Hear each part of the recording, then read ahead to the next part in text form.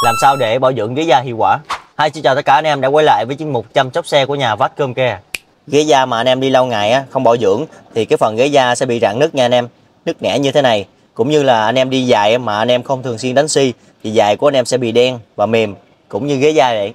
Sẵn đây em có một sản phẩm kem dưỡng ghế da đến từ thương hiệu Limuli. Đây là hàng của Đức nha anh em. Công dụng của sản phẩm này á, là nó giúp cho ghế da của xe của anh em á, là tăng độ dẻo dai nè và đạt hiệu quả cao trong thời gian dài giúp cho xe của anh em á, là chống được cái sự rạn nứt nha của ghế da anh em. Trước khi anh em sử dụng kem dưỡng ghế da á, thì anh em nên cần dung dịch vệ sinh để vệ sinh cái ghế da trước nha anh em. Thì sẵn đây em có một cái combo à, vệ sinh đây gọi là combo vệ sinh đa năng nha anh em. Nó sẽ có bốn loại như thế này cọ khăn và chai chiết. Là cái này à, mình dùng cái chai này để mình à, pha dung dịch theo tỷ lệ nha anh em. Đấy có tỷ lệ mình có ghi sẵn trong cái uh, chai chiết nha. Anh em có thể tham khảo bây giờ em sẽ dùng vệ sinh đa năng để em làm sạch cái à, ghế da chỗ này nha anh em. Để để mình tiến hành à, dùng kem dưỡng ghế da nha. Đấy, em sẽ xịt một lượng dung dịch như thế này. Sau đó em dùng cái cọ. Đấy, trong combo nó có cọ luôn nha anh em. Cọ và khăn. Bây giờ em sẽ làm sạch à, cái chỗ cần dưỡng ghế da nha. Em dùng cọ chà sạch cái chỗ mình cần dưỡng là được.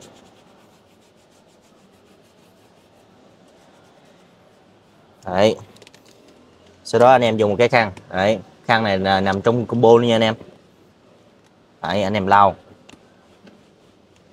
Đó sạch chưa anh em? Quá là sạch luôn.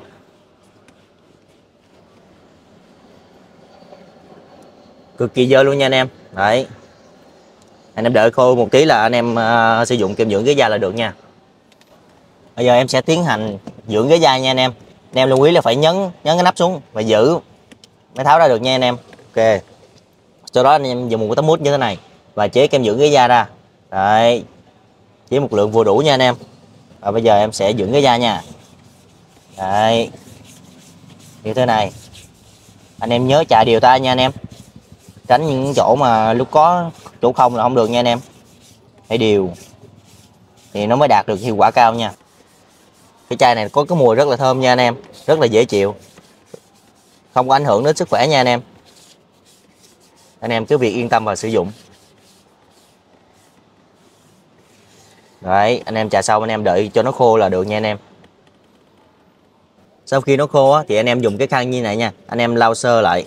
Đấy thì anh em sẽ thấy là cái ghế da của mình là sáng bóng nha anh em. Mềm mịn hơn nữa nha.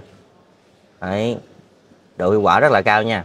Khi anh em sử dụng kem dưỡng cái da như thế này á thì nó sẽ tăng về cái giá trị dịch vụ của da của mình nha anh em. Đấy. Cảm ơn anh em đã xem hết video. Anh em nào có nhu cầu hoặc thắc mắc về sản phẩm thì liên hệ hotline hoặc comment bên dưới và em là Khang Phu Gia.